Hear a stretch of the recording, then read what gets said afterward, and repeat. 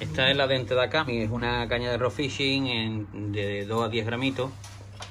Lo bueno de esta caña que va todo montado en Fuji, muy finita.